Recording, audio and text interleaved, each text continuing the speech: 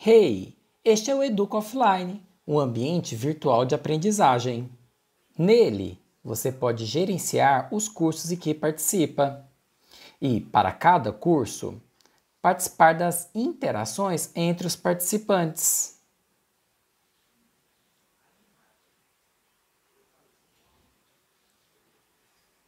Ver as atividades que devem ser realizadas. Acompanhar a avaliação das respostas. Acessar os materiais didáticos disponibilizados pelos professores, dentre outros recursos. Mas o que ele tem de diferente? Ele foi pensado para pessoas em estado de vulnerabilidade em relação à internet. Quando a pessoa marcar um curso para estar offline, os dados desse curso serão baixados e, mesmo quando o usuário estiver sem acesso à internet,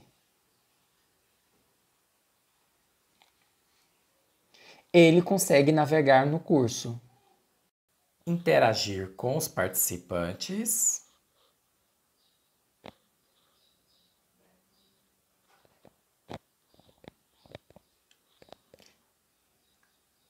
Realizar as atividades